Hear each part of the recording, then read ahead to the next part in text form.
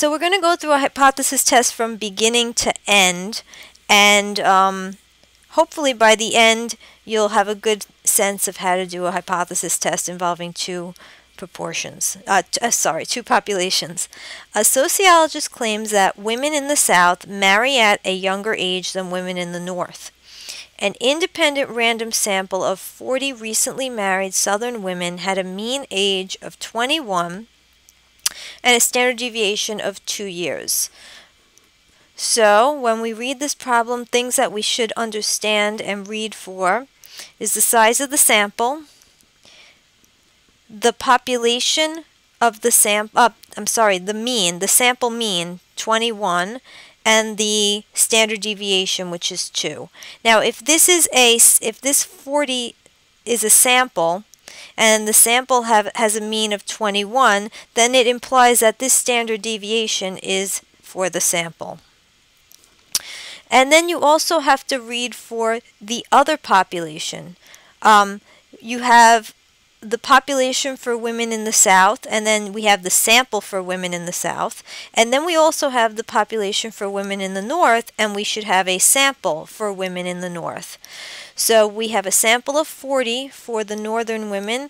The mean of that sample is 23.5, and the standard deviation of that sample is 3. So we need the sample information from the two different populations south and north. Does or do these sample results support the sociologist's claim at alpha equal 5%? So we use an alpha of 5%. And like in previous examples, in previous hypothesis tests, we're going to take our p-value and we're going to compare it to alpha, and that's how we're going to come to a conclusion. Population 1 will represent the ages of southern brides and population 2 will represent the ages of northern brides.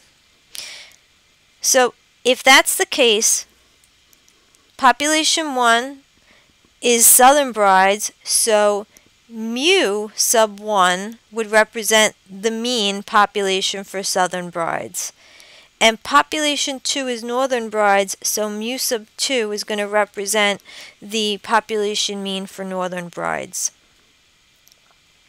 Our null hypothesis is going to be of the form there is no difference between the population mean age of southern and northern brides. Okay, so there is no difference between the population mean age of southern and northern brides. You take the two populations the southern and northern and basically state that there's no difference. And this is going to be the way every null hypothesis is formulated in this type of hypothesis test. You'll, you'll just state that there's no difference between the two population means.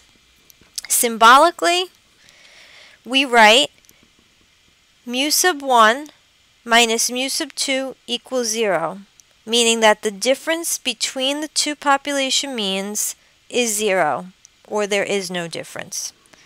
So when you just subtract two things that are zero, I'm sorry, subtract two things that are the same, you get a value of zero. The alternative hypothesis is going to be that the population mean age for southern brides is less than the population mean age for northern brides. So symbolically, to state that mu1 is less than mu2, symbolically we're going to state that the difference is mu sub 1 minus mu sub 2. The difference is less than 0.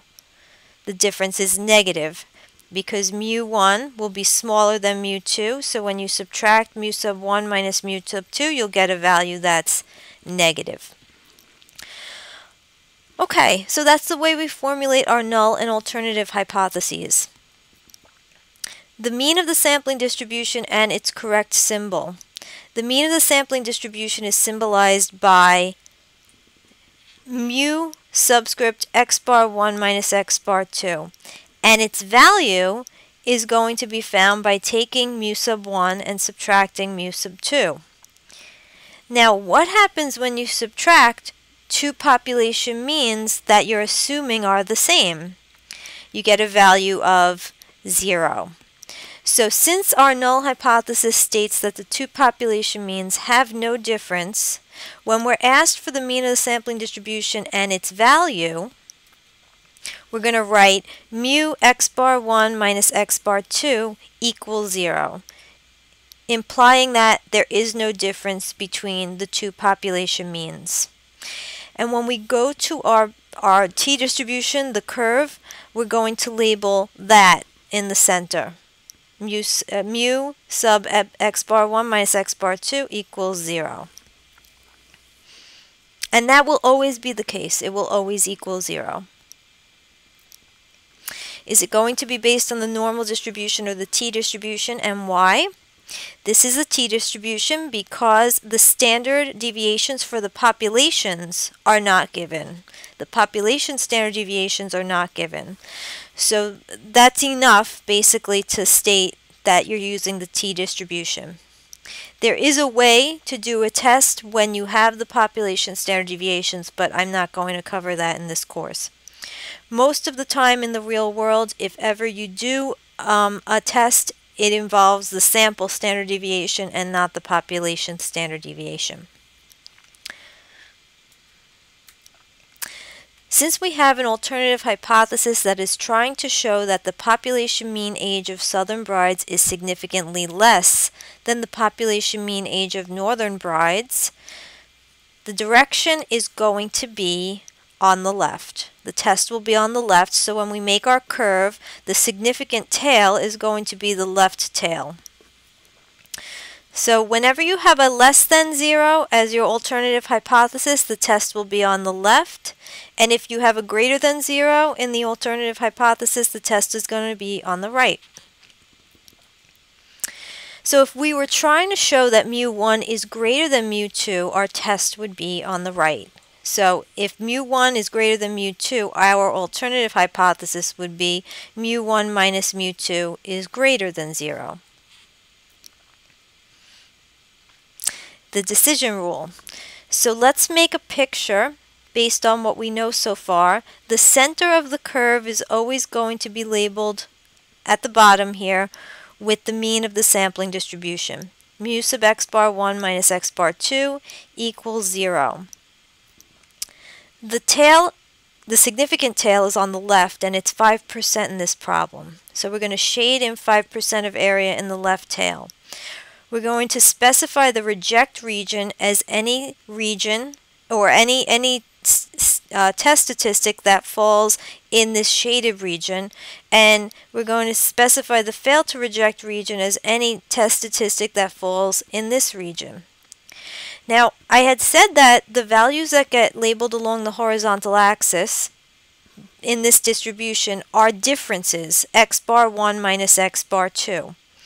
So if we get a difference that's way over here, it means that x bar 1 minus x bar 2 is greatly negative because remember in the center is 0 so on the right side of center we have positive values and on the left side of center we have negative values.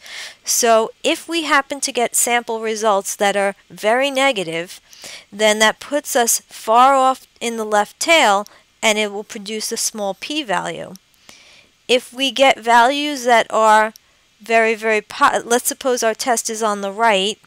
If we get values that are very very positive it will put um, our test statistic high in the right tail and the p-value will be very, very small because it'll go to positive infinity.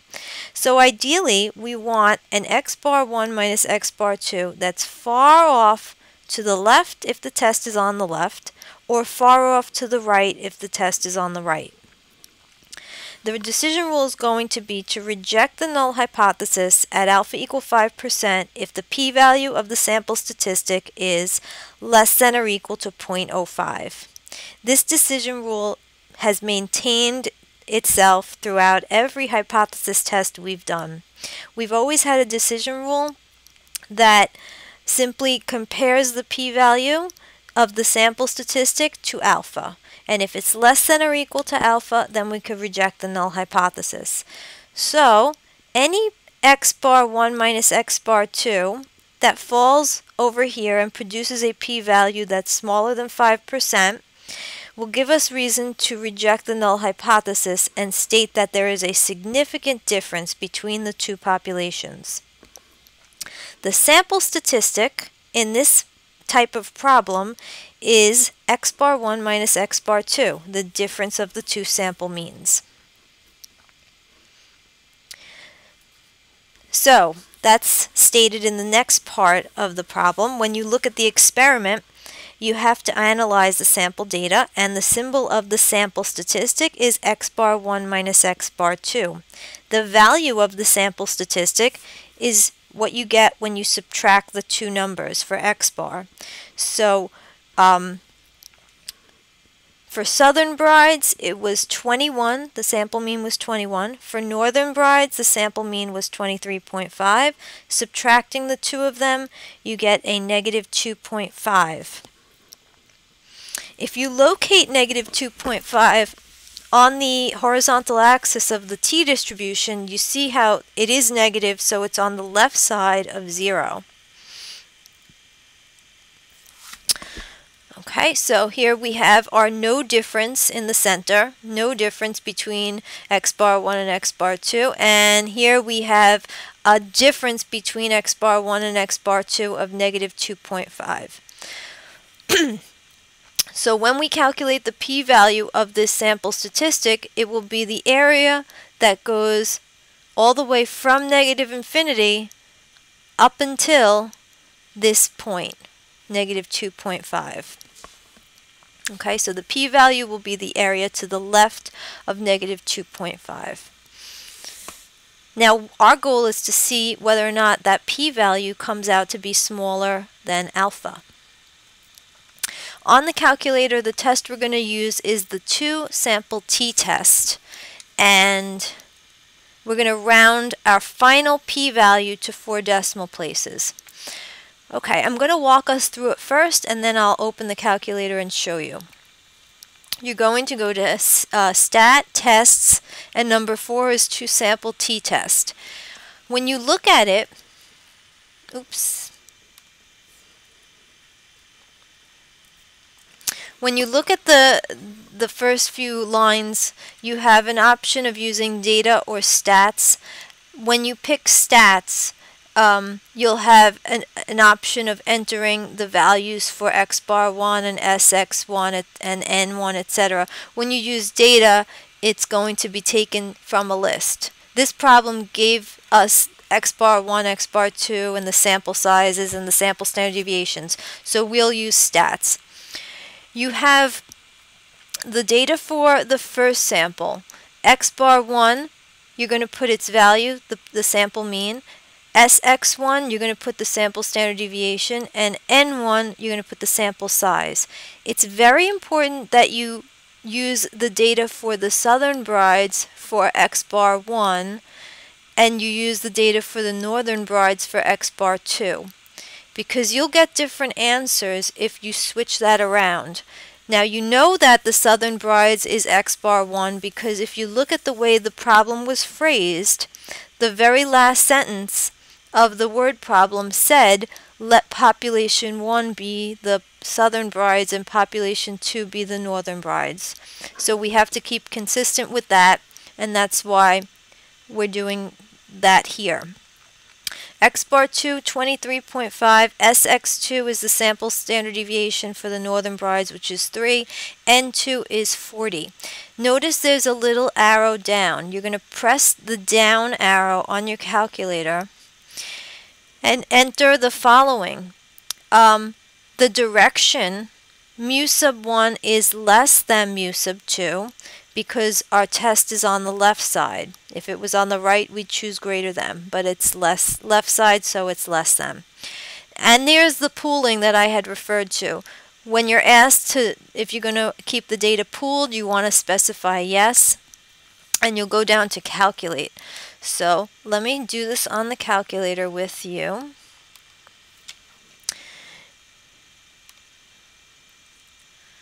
Okay, second. Sorry, not second. Calculator is slow right now.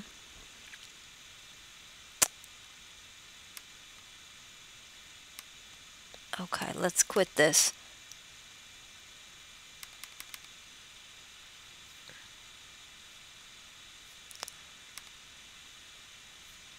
Okay, it looks like my calculator may have crashed.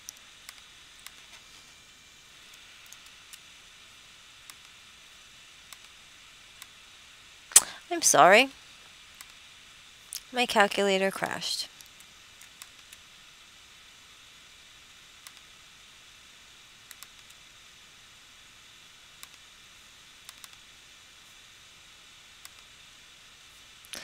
Okay, um, I'm going to restart the computer here. Not, not the Mac, but I'm going to restart the Windows. I don't have permission.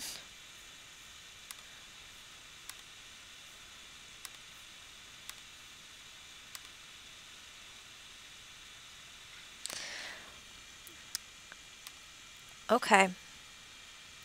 Looks like I'm having tough technical problems and I can't show this to you on the calculator. I'm sorry. Um, we'll just use the screenshots that I have as part of the PowerPoint here.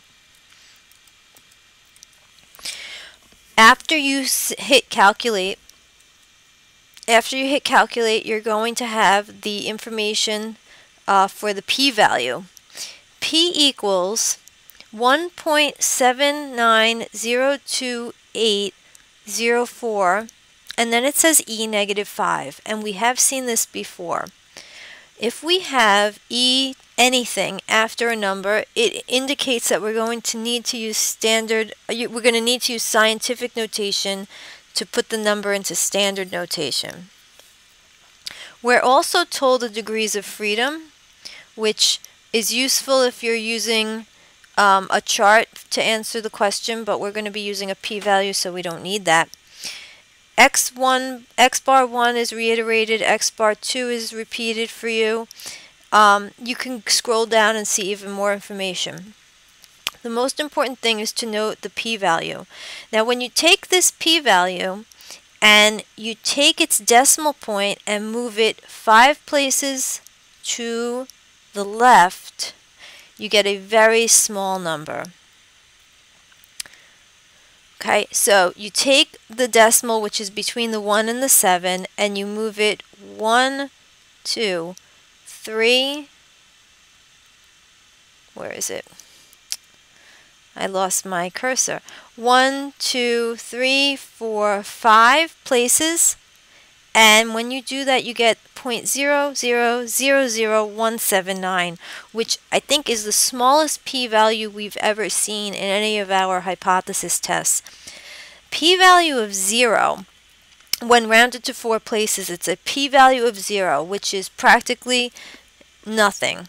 So when if you get a question like this on WebWork, you may have to enter a p-value of 0 um, if it's rounded to four places, and that's what it is. So this p-value of 0 is clearly smaller than alpha. So if we compare alpha at 5% with the p-value of 0, which is non-existent, the p-value is practically 0, smaller than the alpha, which is in brown, the sample statistic negative 2.5 is considered very significant. This is the most significant sample statistic you could have. This is the strongest evidence that the two populations are very different. So our conclusion is going to be to reject HO and accept HA at alpha equal 5%. And the reason is because our p-value is smaller than alpha. Do these sample results support the sociologist's claim? So the sociologist made the claim that uh, northern brides marry later, and so this definitely supports the claim. So if you want understanding for how rejecting the null hypothesis supports the sociologist's claim, when you reject the null hypothesis, you reject that the two populations have the same mean. Remember that the null hypothesis stated that the difference between the two means is zero. So if the difference is zero, then they are the same. Our test has proven that the two population means are significantly different. Okay, so we show that there is big difference between mu sub 1 and mu sub 2. So we're using our sample to come to a conclusion about a population and the sociologist's claim is proven. We are not going to cover uh, type 1, type 2 errors when regarding when looking at tests like this. Um, you do have to understand type 1 and type 2 errors with respect to the other tests that we covered. Um, so uh, that's hypothesis testing for one population, but I'm going to omit it from this lecture for um, two populations. So let's look at another